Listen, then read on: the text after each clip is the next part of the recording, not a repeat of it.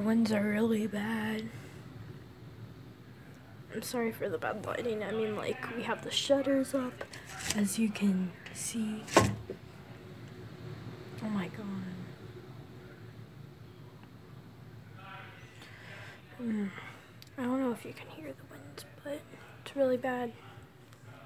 We have like this safe room where, um, like if there's a tornado warning or if we have to go in here, then we go in here. It's my mom's walk-in closet or whatever.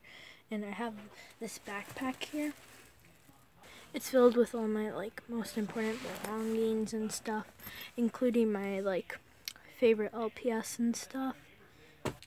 And just saying, um, I can't exactly make, you know, videos, um, like actual LPS videos because, um, my LPS, most of them, actually most of my, like, ones I use in my videos are in there.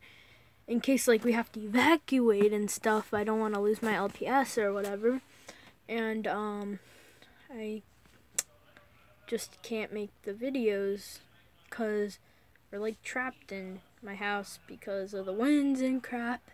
I had this LPS in my front pocket of my backpack, so I'm just gonna talk with it. So, uh, we had to come in here like twice today because there were two tornado, um, like two tornadoes in my area, and it was really like kind of scary.